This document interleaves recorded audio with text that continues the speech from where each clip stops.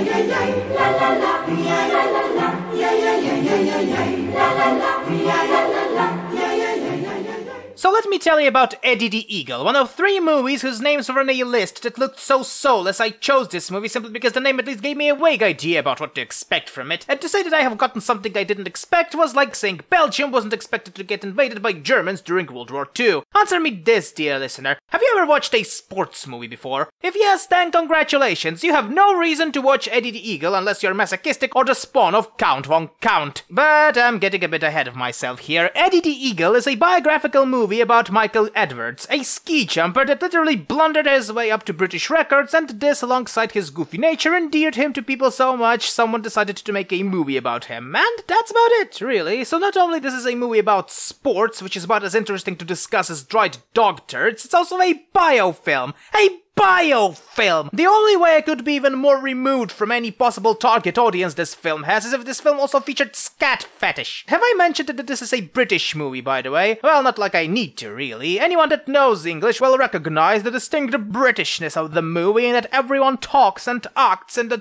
timed English tradition of passive aggressiveness. This makes the movie a slog to go through. From the very start, the main character comes off like a blundering, borderline autistic tosspot with no concept of personal space or integrity, and I get that he's supposed to be endearing to the viewer in that starry-eyed romantic sort of way, but instead he comes off as well, what I've described him before, and that the movie acknowledges it doesn't make it better. Then the predictable sports movie stuff gets piled onto this, you know the drill. The lack of support from one of the parents, usually the father, the cynical trainer who slowly develops a sort of buddy relationship with the protagonist, the frat boys whose sole purpose in life is to ruin our protagonist's day. In movie's defense, it's not that badly executed. There is a sort of chemistry between the characters that makes the viewing just tolerable enough for me to actually continue talking about the movie and not just replace the rest of my ramble with me trying to create a music track using only my tongue and one foot. But yes, in conclusion, I generally try to judge movies based on a simple criterion. If I had just stumbled upon this on the Idiot Box or the Idiot Service, would I wish to continue watching it and not just switch it off to something else? In case of Barry the Ostrich, no, I wouldn't. As a matter of fact, I don't think I liked the movie very much, and I doubt a lot of people will like it either. Of course, if you like watching sports movies, then it's not the worst movie out there. As far as I could care, it does portray the sport faithfully, and if you want to know about the bloke, then I think it's also not as bad. The problem that it's not as good either, and the only things you'll remember after watching it is the irritating main protagonist that Hugh Jackman was the only guy walking in a short in freezing weather, and a Norwegian trainer named Bjorn, and I mean he most definitely looks like a Bjorn, alright?